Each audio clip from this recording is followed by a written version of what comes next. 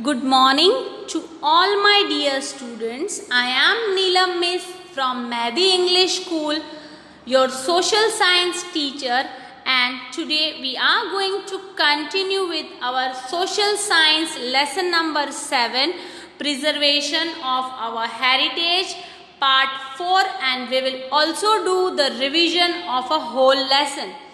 Before starting our lesson, I want to share one thought with you all.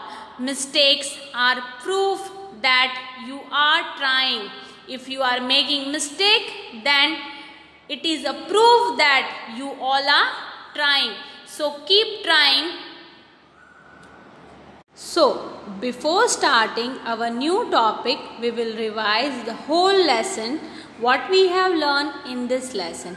In lesson number 7, we have learned India has a unique place in the world.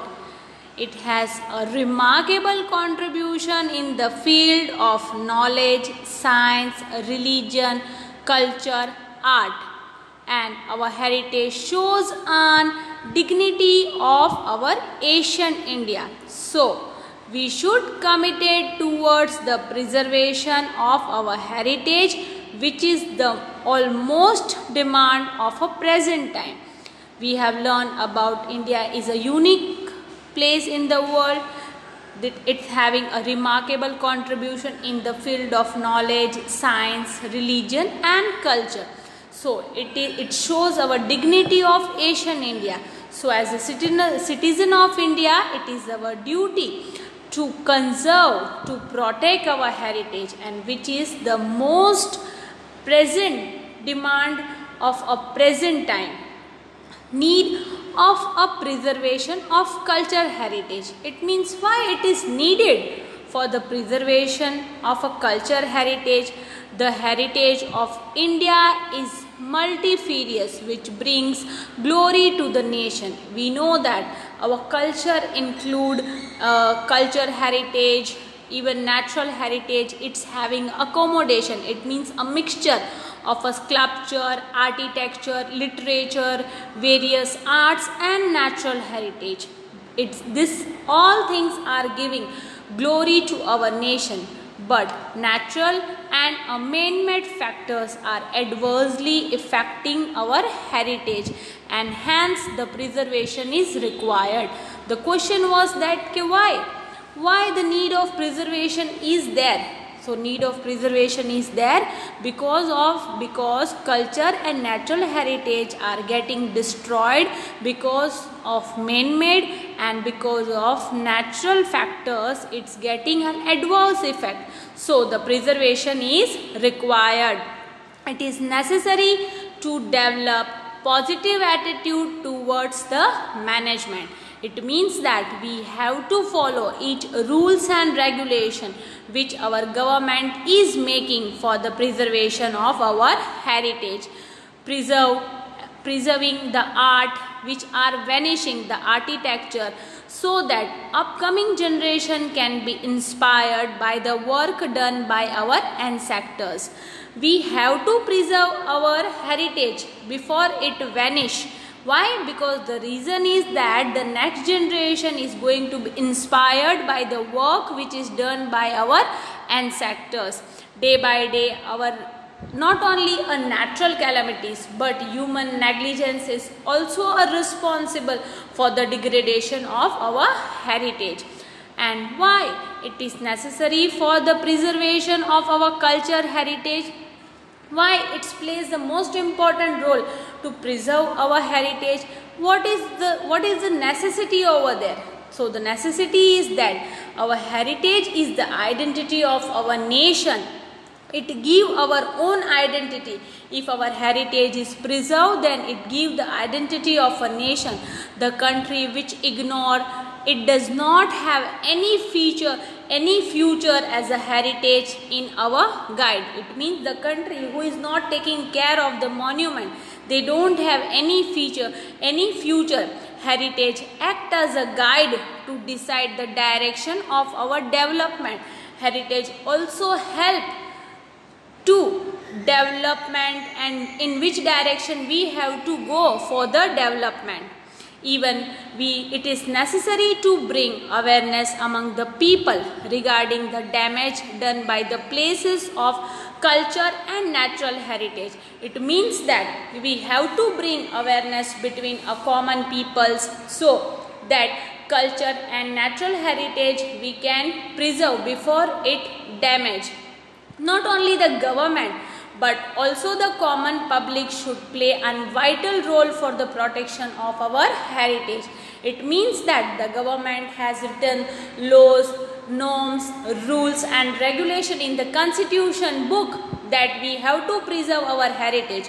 But as a common people, as a citizen of India, it is our vital role. It means an important main role for the protection of, of, of our heritage. It is our moral duty it is also a moral duty of the government as well as the common people, common public to conserve and preserve heritage. It, so, it's our moral duty of government as well as the common public to conserve and preserve our heritage. It means that if the government is making law, norms, rules and regulations have written in the constitution book but this is not a role of only government, even a common public. It means the citizen of India have also pay their awareness, pay their attention to conserve and preserve our heritage. The tourism industries and our heritage the various sites of natural and cultural heritage of India have been accommodated in the list of World Heritage by UNESCO. It means that India's natural even culture heritage have been accommodated in the list of UNESCO as a World Heritage Site.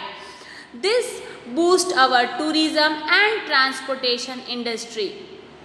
The tourism industry also provide appropriate opportunity and proper platform to showcase our multifarious culture, art and traditional in the front of the world. It means that UNESCO has declared a various natural and culture site in the world, world heritage site. So it is a great pride for us. But even that also the because of this it boosts our tourism and transportation industry.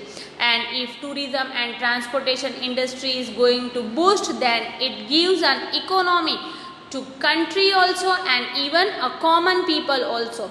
This tourism industry is a showcase that we can show our multifarious culture our traditions in the in the front of world Apart from this, tourism also provides employment to the local people and keep the vanishing art and traditional alive. It means that the tourism industry is also going to give an employment to the local peoples also. Even this is a proper showcase in the front of world.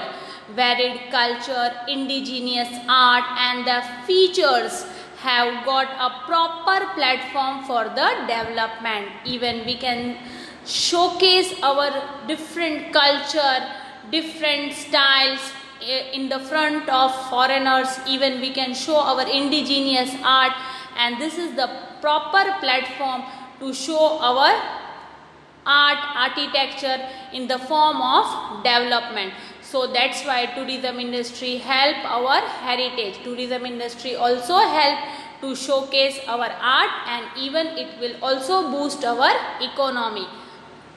Even now we have learned in this lesson the preservation of heritage and measure to conserve it. This question is coming in 3 marks that write a short note on preserve of heritage and measure to conserve it what are the measures are there that we can conserve our heritage? The India Indian Board of Wildlife Act was started in year 1952 for the protection of wildlife. It facilitated with the material for the conservation of wildlife. It means that Indian government has started Indian Indian Board of Wildlife Department department in year 1952.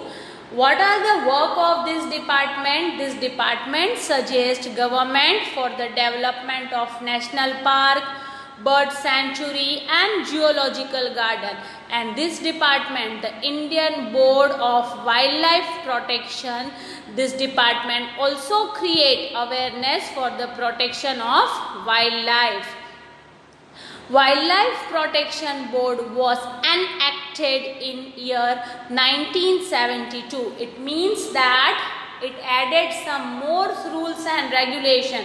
In year, it done an amendment in the book of constitution in year 1972 with the establishment of national parks, wildlife sanctuary and bioreserves. These are the places where wildlife are getting protected. Even in our constitution book, the government has framed such law. A strict law has been framed to stop the destruction and vegetation and wildlife which are getting vanishing.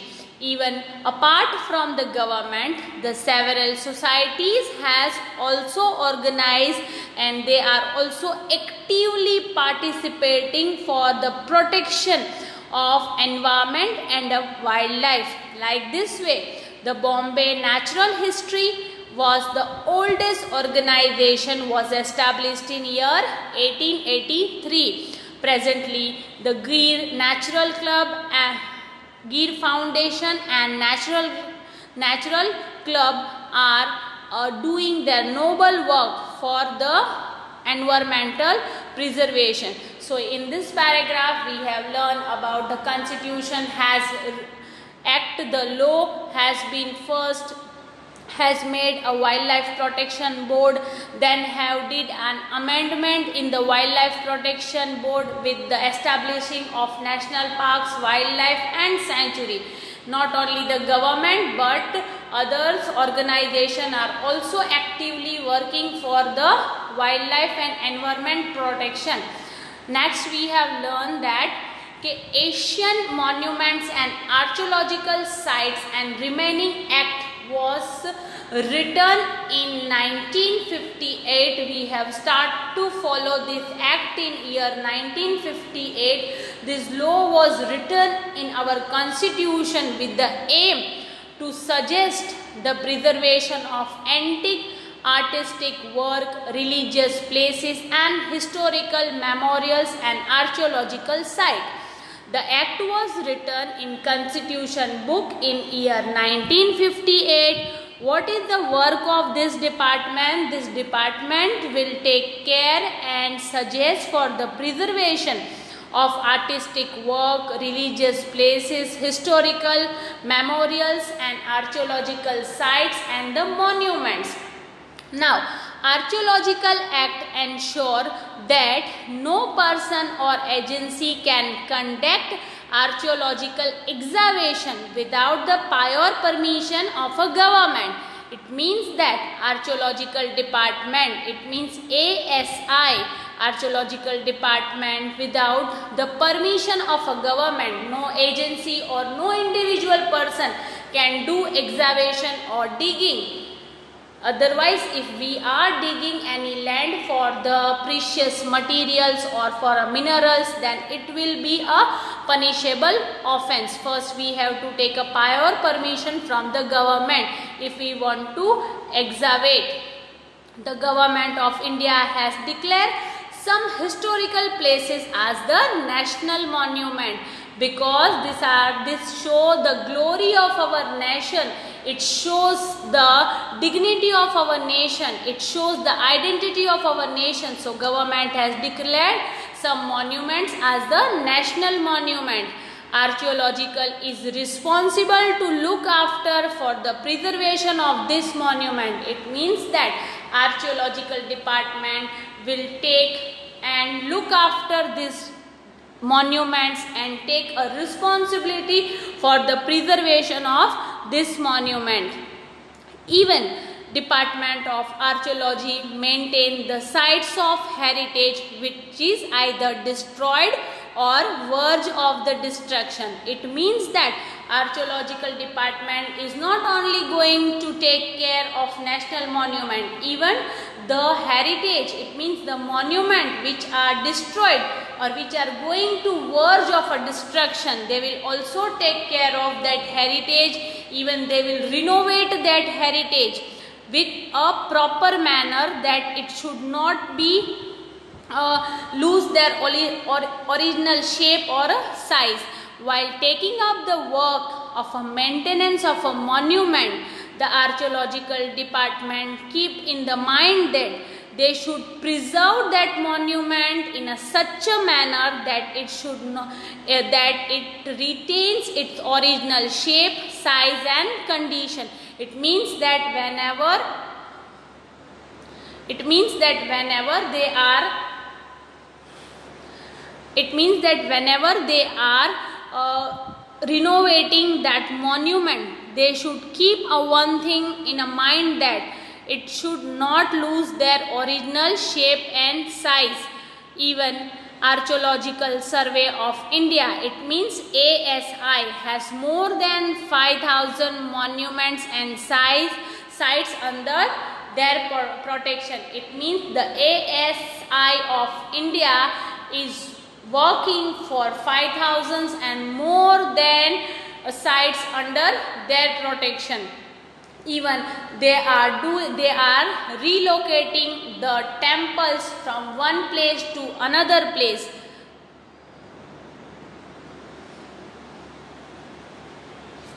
Even we all are knowing Taj of Taj Mahal of Agra is seven wonder of the world because of Mathura oil refining, the Taj is the marble of white Taj is getting pale and dull. So archaeological department has took some a step, suitable step to close that industry and with the regular cleaning they brought back a brightness of a Taj.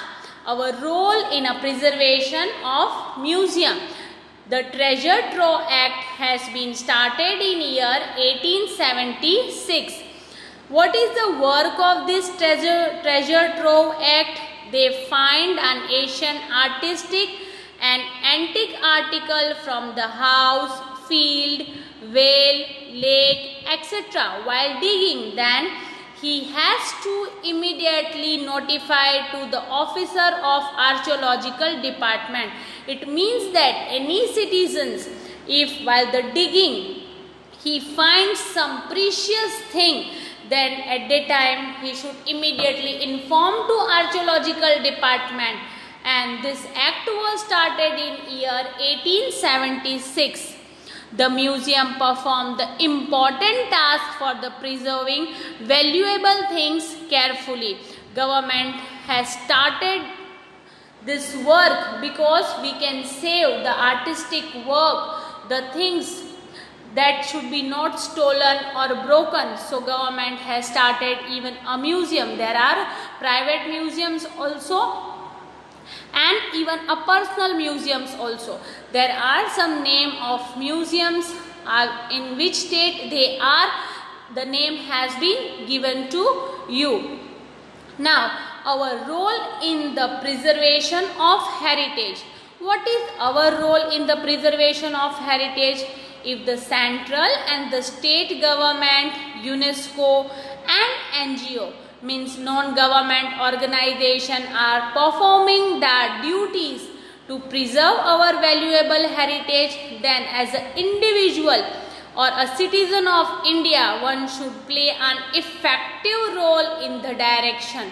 It means that this work is not only done by the central or a state government UNESCO and NGO, they are working for the preservation of monument. But as an individual person, it is we should also plays an effective role in to preserve a monument. The schools even the students should give the awareness by the teachers so the student can also preserve our monuments and they should know the importance of a monuments. Valuable things should not be destroyed broken and stolen. Schools colleges and NGO should conduct the programs like visit to the historical places and site speeches, exhibitions, discussion and seminar etc. to be done to create the awareness between a common people and also in a student because the preservation is because the preservation of heritage is most needed. Now we will learn about that during the natural calamities during the monsoon season we should constantly keep eye on preserving our heritage, our monuments like a lake, like a, a step wells, we have to take care during the monsoon season. Now the cleanliness and the preservation of picnic spots. The central and the state government are taking a proper state for proper step for the cleanliness and a preservation of our picnic spots. It means that Ajanta, Ellora, Qutub Minar, Taj Mahal are are the places of a picnic sports. Then the government is taking care of that picnic sport. Even government do a regular cleaning of that picnic spots it gives also uh, information to the common people uh, the tourists uh, the tourists those who are coming over there as a picnic sports that they should not use a plastic over there should use dustbin should not spit here or there should not draw the pictures on the monument should not pollute the historical mo uh, monuments even uh, chemical methods. With the chemical method the cleanings has been done by archaeological department the sanitization has been done to avoid the historical heritage from the damage. Even the it is our responsibility to maintain the beauty and the cleanliness of our tourist places as they bring fame to prosperity to the nation. The next paragraph was unity in diversity. Unity in diversity, it means the diversity of India is unique identity because a different caste, community, religions, traditional culture and languages in spite having a variety and differences but then also India stand united. We are undivided. It means that there are the different peoples with a different language different religions but then also we all are living together. India has a feeling of vasudhaiva kutumbakam. It, this answer is going to come in 3 marks or in 4 marks. That the Vasudhaiva Kutumbakam is means the whole world is family. Indian culture has a spread religious tolerance and secularism across the world that we are uh, we are by caste by religion by worshipping by culture we are different. But then also we are united. We the whole world is family. This proverb is it is thought by the thought has been given from the vedic periods not only this, even the Swami Vivekanand said that the following words in the World Religious Conference which was held in Chicago, USA, United States. It means Swami Vivekanand has given his speech in the World Religious Conference which was held in Chicago in United States. I am proud to say that I respect the religion that has taught the lesson of tolerance, compassion and universal fraternity to the world. The Swami Vivekanand has given the speech in the World Religious Conference. At that time he said that I am proud that I belong to India, that I have taught the lessons of tolerance, compassion and universal fraternity to the world.